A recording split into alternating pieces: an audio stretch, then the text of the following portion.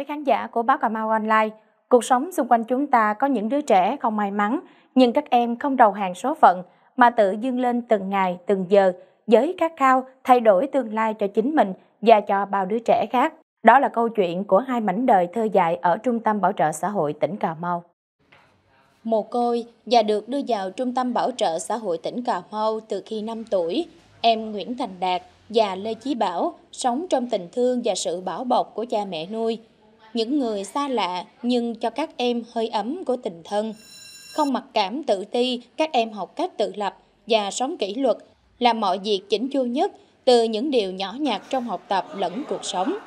Thay vì khép kín, Đạt và Bảo chọn cách sống tích cực. Hai em giao tiếp nhiều với cha mẹ nuôi và mọi người xung quanh.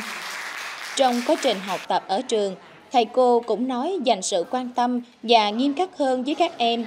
Câu nói, con có hoàn cảnh như vậy, con phải ráng học, là động lực để các em cố gắng nhiều hơn.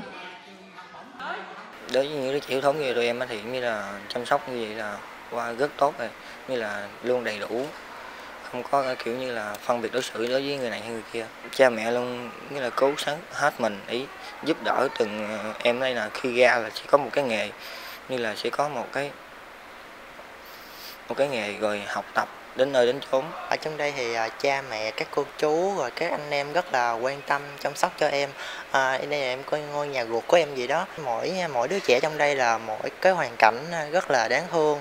À, vì thế mà em dựa vào à, à, những cái hoàn cảnh đó để em nỗ lực hơn trong cuộc sống. Sống và học tập trong môi trường thiếu thốn vật chất lẫn hơi ấm tình thương của cha mẹ.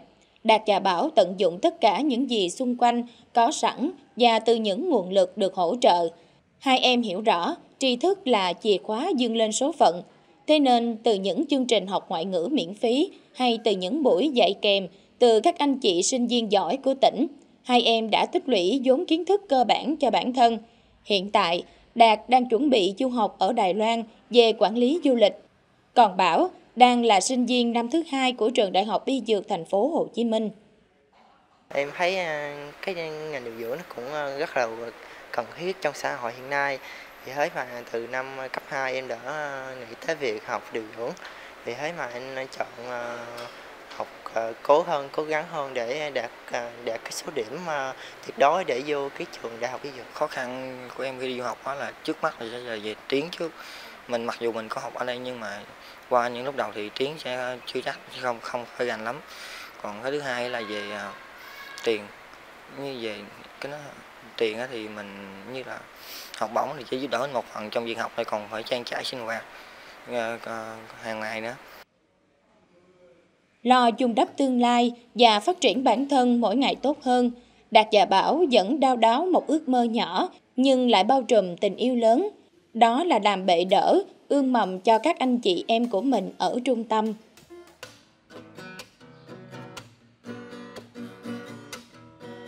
Dạ, nếu mà sau khi em tốt nghiệp mà có được công việc á, ổn định đó, thì em à, à, sẽ quay về à, đây giúp đỡ những anh em anh em còn khó khăn nữa còn phải là tiếp nữa là những đứa em của em như là cho đi học đến đến chốn khi mà 4 năm đại học xong thì uh, nếu mà có cơ hội quy thì em có thể trở lại để làm việc.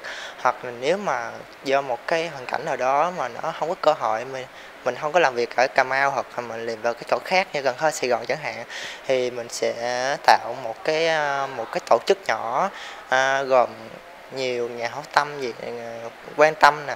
Thì uh, có thể là trở về uh, trở lại quê hương Cà Mau này có thể là uh, thăm khám này chữa bệnh miễn phí. Hiện tại, Bảo và Đạt nỗ lực làm thêm để tự trang trải chi phí sinh hoạt cho bản thân tại môi trường mới.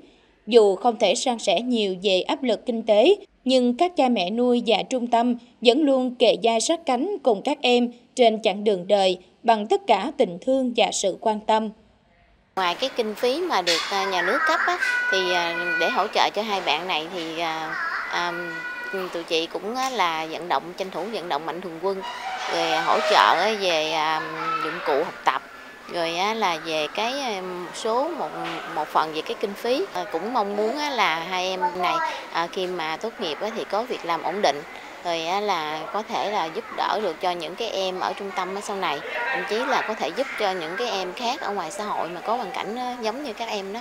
Thưa quý vị và các bạn môi trường trưởng thành không hoàn toàn quyết định nên tương lai của những đứa trẻ mà chính sự nỗ lực dương lên của các em mới tạo tiền đề cho một cuộc đời rực rỡ nguyễn thành đạt và lê chí bảo là một minh chứng sống cho ngọc tô được dũa sáng đẹp của trung tâm bảo trợ xã hội tỉnh cà mau Tinh thần nỗ lực dâng lên số phận của hai em là điểm sáng cho những mảnh đời kém may mắn, có thêm hy vọng dâng lên.